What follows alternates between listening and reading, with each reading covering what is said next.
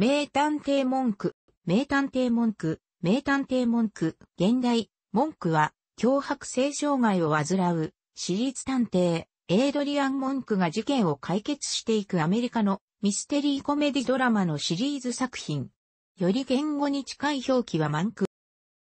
アメリカのケーブルテレビ局向けベーシックチャンネルである USA ネットワーク、USA ネットワークによる制作。1話完結型連続ドラマで数々の賞を獲得している。2002年7月12日に放送を開始し、2009年12月4日まで最終シーズンとなる第8シーズンが放送された。日本ではワウアウトスターチャンネルで名探偵ミスターモンクのタイトルでパイロット版第1話と第2話を2002年テレビムービーとして放送、ビデオ発売レンタルもなされた。NHKBS2 では2004年3月30日からレギュラー放送を開始、2010年7月には最終第7シリーズ、米国ではシーズン8を放送した。ミステリチャンネル、現、アクスミステリーでも2006年10月より放送を始める。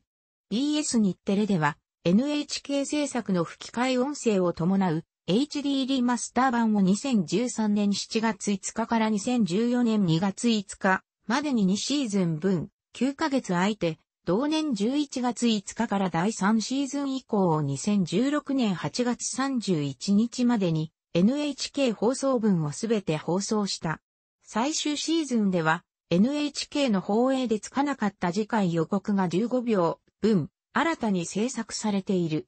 ソフト化は2003年6月27日から、文句のタイトルで、ビデオレンタルとして、ボリューム1から6、全13話が発売されていた。2011年7月6日から、レンタル版とセル版の DVD が順次、発売されている。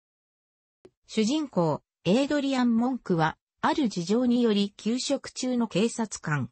優れた観察力、記憶力、洞察力を持つ一方で、10代の頃から脅迫性障害を患っており、それに加え妻を殺害されたことによる PTSD が原因でカウンセリングを受けている。彼の優れた能力や深刻な心の病状はドラマにシリアスさを出すための設定であるが、むしろコメディ的要素として利用される傾向が高い。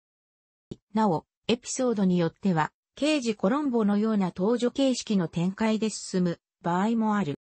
NHK 版では、米国放送とは区切りが異なっている口述。本校では、大シリーズという表記の場合は、NHK 版をシーズンという表記の場合は、米国版、日本 DVD 版を指すものとする。サンフランシスコ市警察本部のエイドリアン・モンク刑事は、妻のトゥルーディを自動車爆弾によって何者かに殺される。その犯人を検挙することができなかった文句は、脅迫性障害がひどくなり、刑事を休職し、自宅に3年間閉じこもる。その後、看護師であるシャローナ・フレミングをアシスタントとして採用し、死警察のコンサルタントとして犯罪、そして様々な恐怖症と戦いながら、復職とトゥルーディ事件の解決を目指す。シャローナは結局、元亭主と再婚することを決意し、文句のアシスタントを退職し、元亭主そして息子のベンジーともどもサンフランシスコから去ってしまった。途方に暮れる文句であったが、ある事件で出会ったナタリー・ティーガーと意気統合したことで、ナタリーを正式にシャローナの次のアシスタントに採用した。だが、長年の付き合いで文句を知り尽くしたシャローナとは異なり、ナタリーとは一から関係を構築することを余儀なくされたため、コンビを組んだ当初の文句とナタリーは様々な面で対立目立つようになる。しかし、そうした対立を経て、二人で様々な修羅場をくぐり抜けた文句とナタリーは次第にお互いを信頼をするようになった。こうして文句は新たなパートナーのナタリーと共に改めて犯罪捜査そしてトゥルーディ事件の解決の日々に身を投じるようになる。NHK 版では連続放送の区切りが異なっている。米国のシーズン1シーズン2の8話までが NHK 版第1シリーズ、シーズン2の9話からシーズン3最終話までが NHK 版第2シリーズ、シーズン4以降はシリーズ数が一つずつずれて放映された。日本で発売されている DVD や2013年の BS 日テレでの放送では、米国と同じ区切りで収録、放送されている。ウェビソードとは、ウェブサイト上で公開される数分程度の動画の短編ドラマシリーズ。名探偵文句のウェビソードは7話作られている。日本版 DVD シーズン後に映像特典として4本が英語音声、日本語字幕の状態で収録された。また、2009年にはエイドリアン・モンクの子供時代を描いた全10話のウェビソードリトル・モンクも作られている。アメリカでは公式エピソードガイド本が出版されている。